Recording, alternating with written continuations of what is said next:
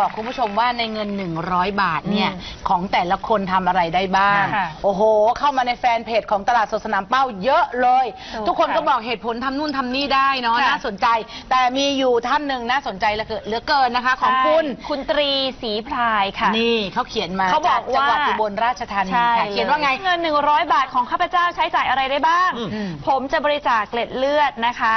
วันไหนที่ผมไม่ใช้รถส่วนตัวเนี่ยก็จะเดินทางโดยรถประจำทางจากอำเภอเขืองในตัวเมืองอุบล ค่ารถไปกลับแล้วก็ 40 บาท พอไปถึงตัวจังหวัดนั่งรถเมล์ไปกลับจากท่ารถประจำทางถึงโรงพยาบาลจังหวัดอีก 20 บาทนะคะอืมก่อนบริจาคเกล็ดเลือดเนี่ยต้องกินข้าวก่อนบริจาคทุกครั้งด้วยค่ากับข้าวต้องอิ่ม40 บาทอ้าวนะพอดีรวมกันละแล้วเนี่ยก็เป็น 100 บาทใช่พอดีนี่แหละครับ เงิน 100 บาทของผมซื้ออะไรได้บ้าง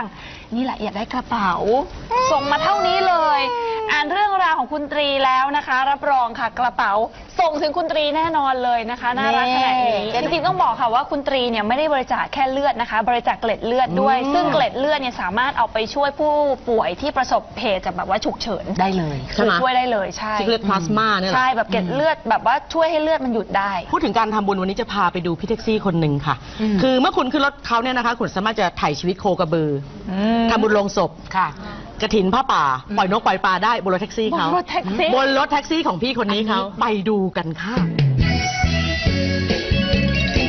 ช่วงคนดีสีตลาดโดยไทยประกันชีวิต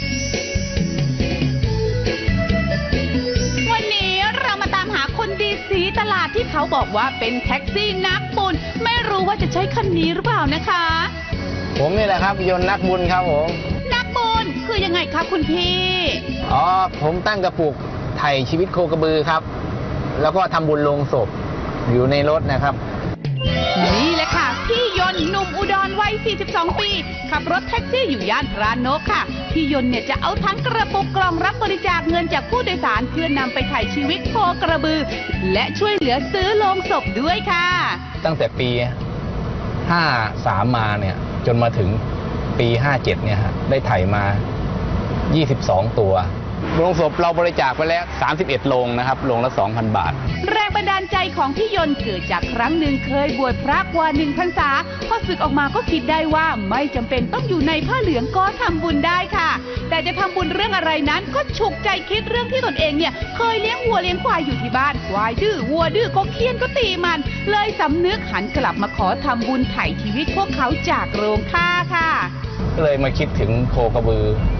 ที่เขาทำไร่ไถนาให้เรากินเนี่ย ก็เลยคิดว่าเราเนี่ยไม่ควรจะกินเขา ผมไม่เลิกกินเนื้อมาตั้งแต่ปี 52 ปีหนึ่งเนี่ยโดนฆ่าตายเนี่ยล้านหกแสนตัวต่อปี ถ้าเราไม่กินเราน่าจะโคกระบือน่าจะรอดตายตัวหนึ่งต่อปี พอปีต่อมาผมก็เลยคิดว่า เราน่าจะทำอะไรมากกว่า การเลิกกินเนื้อ ผมก็เลยมาติดตั้ง ทากระบือนี้ทำที่ไหนโคกับไปทำที่วัดป่าศรีคุณารามบ้าง แล้วก็ไปหลายจังหวัดครับ อนุโมทนาบุญด้วยครับ สาธุได้บุญร่วมกันเงิ นทุกบาททุกสตางค์ที่รับบริจาคมาไม่ใช่สักแต่ว่าทำส่งๆไปนะคะ เพราะพี่ยนต์ยังต้องดูแลเรื่องที่อยู่และอาหารการกินของวัวอีกด้วย บางวัดมีเนื้อที่น้อย บางวัดมีหญ้าไม่เพียงพอ ก็จะต้องส่งเงินค่าหญ้าให้เดือนละ 6,000 บาทค่ะ ซึ่งทั้งหมดทั้งมวลเนี่ยพี่ยนต์ก็จะมีใบอนุโมทนาบุญทุกครั้งที่ทำนะคะที่เราไปโคราชเนี่ยก็แสนกว่าบาทนะครับ มันจะเป็นค่าหญ้ารายเดือนนะฮะ เดือนละ6,000บาท อันนี้ก็จะเป็นอ่าทำบุญโลงศพนะครับจากผมเป็นคนจังหวัดร้อยเอ็ดขับแท็กซี่ ก็จะอ่าโทรศัพท์ไปหาพี่หาน้องที่อยู่อ่าหมู่บ้านผมว่า ถ้ามีใครตายก็จะให้เขานะส่งใบมรณบัตรเราก็จะส่งเงินที่อ่าผู้โดยสารร่วมทำบุญโลงศพกับอ่าแท็กซี่นะก็จะส่งไปให้ 2,000 บาท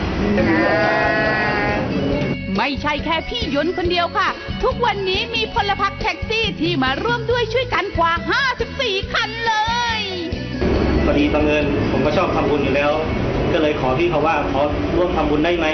ขอเป็นส่วนหนึ่งของโครงการนี้ได้ไหมพี่เขาก็เลยให้มา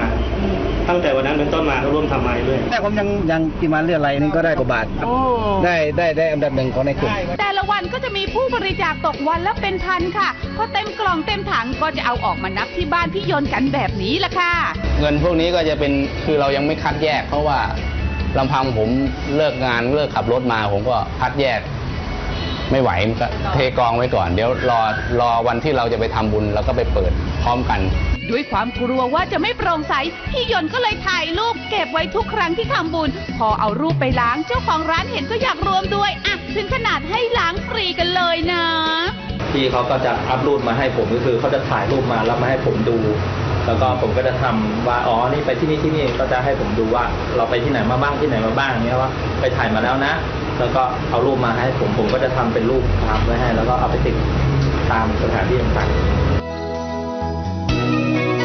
ครับก็ปลื้มครับเวลาผู้โดยสารก็ร่วมทำบุญเราก็มีความสุขอะไรไปกับเขาด้วยมันเราก็มีความสุขเนี่ยครับเราคิดว่าเนี่ยมันเป็นสะพานนะฮะให้อ่าผู้โดยสารได้ทำบุญด้วยก็ส่วนมากเขาก็พอใจนะเขาบอกโหหายากนะเนี่ยเราก็รู้สึกภูมิใจนะ ที่เราเป็นเป็นส่วนให้เขาได้มาร่วมทำบุญก็ดีใจครับว่าเราได้ทำบุญส่วนนี้แต่ผมกินเนื้อนะทุกวันนี้ผมไม่เอาเลย โคกระบือทุกตัวเนี่ยเหมือนลูกหลานของเรา เราให้ชีวิตแก่เขาเราเกิดความสุขใจ ผู้โดยสารก็เกิดความสุขใจที่ได้ให้ชีวิตโคกระบือ เราทำดีสิ่งดีตอบสนองอคิดว่าเราทำชั่วความชั่วตอบสนอง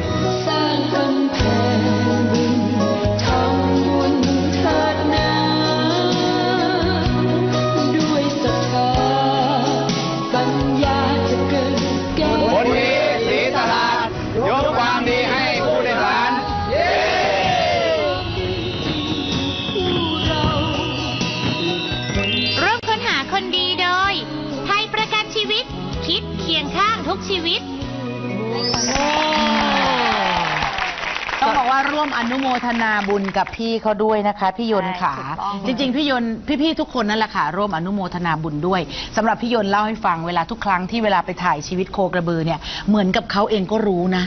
อะมายืนหน้าสลอนเลยเลียงเดินตามมาพอพอเราถ่ายตัวนี้ อีกตัวอื่นก็เหมือนจะรู้อะแล้วก็เดินคอตกง่อยๆ ออกไปออกไปโอ้มันเลยยิ่งทำให้คนที่ไปทำบุญเนี่ย ไม่ได้รู้สึกบอกเลกับยตัวเองเลยว่าไม่ได้ต้องทำตลอดไปแบบนี้ต้องทำอยู่เรื่อย คือเดือนตุลาคมเนี่ยเดี๋ยวจะไปที่ศรีสะเกดค่ะนะงวดต่อไปถ้าใครอยากจะร่วมทำบุญถ่ายชีวิตโคกระบือ เจอพี่ยนต์ก็ร่วมได้เลยนะคะ อืม รถของแกจะวิ่งอยู่รอบๆเนี่ย ฝั่งทน พี่ยนต์เขามี Facebook ด้วยนะคะ อ่าฮะสามารถเข้าไปดูได้เลยว่าแกอ่าทำอะไรบ้างนะคะ ไม่ว่าจะเป็นเรื่องของการบริจาคโลงศพ จ้ะการถ่ายชีวิตโคกระบือนะคะ แกจะถ่ายให้ดูทุกขั้นตอนนะคะ เพื่อให้ทุกคนสบายใจว่านี่ไงสิ่งที่แกทำแกทำจริงเออ ๆนะคะ แท็กซี่สะพานบุญของพี่ยนต์ก็วิ่งอยู่แถวๆฝั่งธนนะคะใครอยากจะเรียกใช้บริการก็โทรศัพท์ไปหาพี่ยนต์ตามเบอร์นี้เลย อืม อืมนะช่วงหน้าจะพาไปดูสวรรค์ของชาวมาเลเซียนะคะ ที่อยู่ในเมืองไทยนะพี่นะว่าเป็นยังไงเดี๋ยวมาดูค่ะ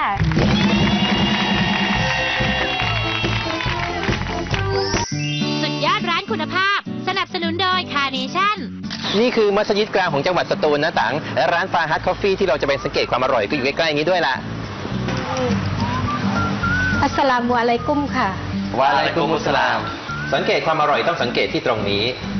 ชาวพุทธและอิสลามที่นี่อยู่ร่วมกันได้อย่างมีความสุขมายาวนานนะครับพี่ฮิง ร้านนี้ก็ยินดีต้อนรับทุกคนอย่างเป็นกันเองมากๆเลยนะครับ และอีกอย่างที่ไม่ว่าใครก็ต้องชอบก็คือเครื่องดื่มคุณภาพที่ดูเหมือนลาเต้ของที่นี่จะขายดีมากๆเลยนะครับลาเต้ที่นี่ดื่มง่ายดีกาแฟรสไม่เข้มมาก ตัดกับความหอมมันกลมกล่อมจากนม เข้ากันลงตัวอร่อยมากๆเลย เมนูขายดีแบบนี้มีเคล็ดลับยังไงครับคุณวารุณีวัตถุดิบของร้านเราใช้แต่ของที่มีคุณภาพเท่านั้นค่ะลาเต้ของเราเติมความหวานมันด้วยครีมเทียมข้นหวานคุณภาพเยี่ยม และนมข้นจืดที่ดีที่ไม่กลบกลิ่นกาแฟ